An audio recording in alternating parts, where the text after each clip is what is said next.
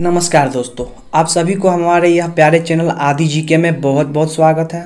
मैं आशा करता हूँ कि आप लोग हमारे इस वीडियो को शुरू से लास्ट तक ज़रूर देखिएगा। और साथ ही साथ ये भी आशा करता हूँ कि हमारे इस वीडियो से आपको कुछ ज्ञान अर्जित हो। ज्ञान का उद्देश्य ये नहीं होता कि ज्ञान हासिल करके कुछ आमदनी ही की जाए। ज्ञान का उद्देश्य ये होता है कि आप किसी भी क्षेत्र में उन्नति और विकास अच्छी तरह से कर पाए। आई होप हमारी बात आपको समझ में आ गई हो।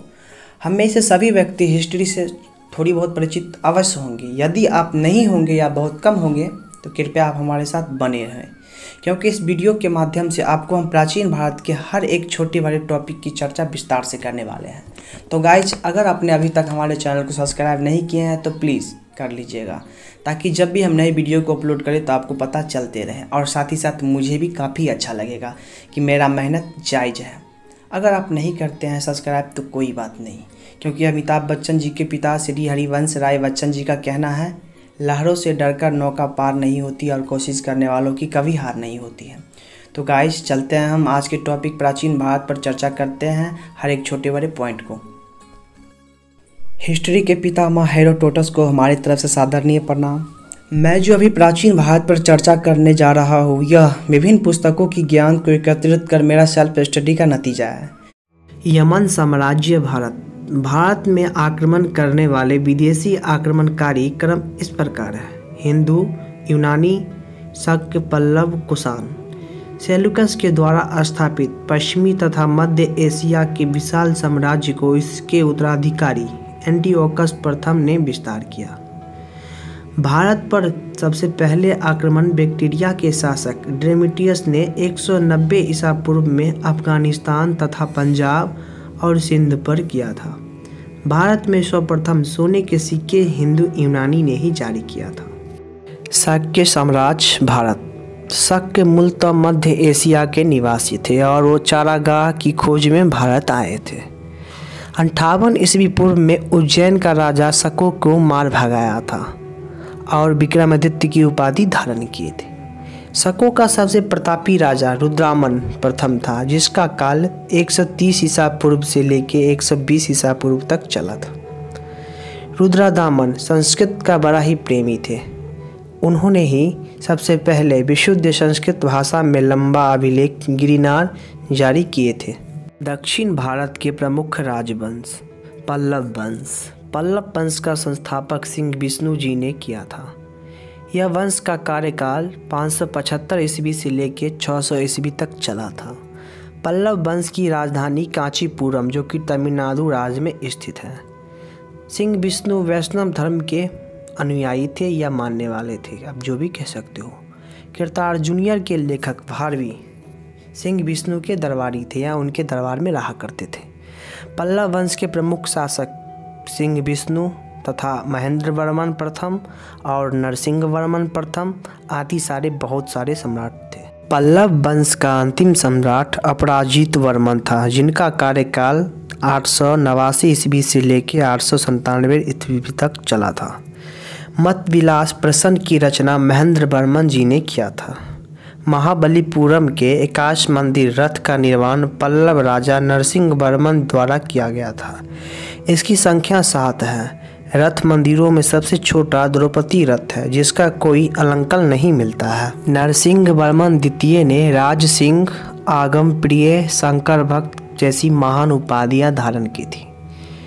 नरसिंह वर्मन द्वितीय ने कांचीपुरम में कैलाश नाथ मंदिर, जिसे राज सिद्धर मंदिर भी कहा जाता है, उसका निर्माण किया था। यही मंदिर में पहली बार सत्याप्त कला की शुरुआत प्रारंभ हो चुकी थी। दस कुमार के चरित्र डांडी सिंह, नरसिंह वर्मन द्वितीय के दरबारी थे। दस कुमार चरित्र डांडी सिंह के लेके एक वीडियो हम पीछे छो अपलोड कर चुके हैं।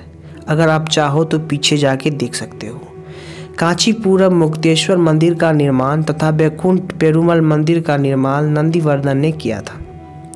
प्रसिद्ध वैष्णव संत तिरुमलई अलवार नंदीवर्धन के द्वितीय समकालीन माने जाते हैं। राष्ट्रकूट वंश। राष्ट्रकूट वंश का संस्थापना दंती दुर्ग ने सात सौ बावन ईस्वी में किया था और राजधानी मान्यखेत बनाया था। राष्ट्रकूट वंश के प्रमुख शासक कृष्ण प्रथम, ध्रुव गोविंद्र तृतीय, अमोघ वर्ष, कृष्ण द्वितीय, इंद्र तृतीय, कृष्ण तृतीय आदि सारे हैं। एलोरा के प्रसिद्ध कैलाश मंदिर का निर्माण कृष्ण प्रथम ने ही किया था। ध्रुव ने कन्नौज शहर पर विजय के लिए त्रिपक्षीय संघर्ष में भाग लिया था। अमोघ वर्ष जैन धर्म का अनुयायी था। इसने कन्नड़ में कविराज मार्ग की रचना किया था। आदि पुराण के लेखक जिनसेन गणित सार के लेखक महावीराचार्य, ये दोनों अमोघ वर्ष के दरबार में रहा करते थे। आदि पुराण के लेखक जिनसेन तथा गणित सार के महावीराचार्य को लेके हम एक वीडियो पीछे अपलोड कर चुके हैं। आप अगर चाहो तो जाके पीछे देख सकते हो। अमोघ वर्ष ने तुभदा नदी में जल समाधि ले लिया था। राष्ट्रकूट वंश का अंतिम शासक कृष्ण तृतीय था। इसके दरबार में महान कवि, कन्नड़ीय कवि पोन रहा करते थे, जिन्होंने शांति पुराण की रचना की थी। एल्योरा एवं एलिफेल्डा, जो कि महाराष्ट्र में अवस्थित है। गुहा मंदिरों का निर्माण राष्ट्रकूटों के समय में ही हुआ था। एलोरा में चौंतीस शैलकृत गुफा है। एक से बारह तक बौद्ध धर्म, तेरह से उनतीस तक हिंदू धर्म और तीस से लेकर चौंतीस तक जैन धर्म की जानकारी उपलब्ध है। राष्ट्रकूटों से वैष्णव सामंत संप्रदाय जैन के भी उपासक थे। राष्ट्रकूटों ने अपने राज्यों में मुसलमान व्यापारियों को बसने तथा इस्लाम की चोल वंश नौवीं शताब्दी में राष्ट्रकूट वंश पल्लवों वंश के अंत के बाद विजयालय ने चोल वंश की स्थापना 850 ईस्वी में की थी। चोल वंश की राजधानी तंजोर में पड़ती थी। विजयालय ने नरकेसरी की उपाधि धारण की थी। निशुम्भ दर्शनी देवी का मंदिर विजयालय ने ही बनाया था। चोल वंश का स्वतंत्र शासक आदित्य प्रथम को माना जाता है। पल्लवों पर विजय प्राप्त होने के बाद दंडराम की उपाधि धारण किए थे। चोल वंश के प्रमुख शासक परांतक राजराज राजेंद्र राजेंद्र द्वितीय कुलोंग तुंग राजराज प्रथम ने श्रीलंका पे आक्रमण समुद्री मार्ग के द्वारा किया था। जब श्रीलंका पे आक्रमण किया थे तो वहाँ के महिमपाल परचम राजगद्दी छोड़ के भाग गया था और अपना प्राण बचा लिया था।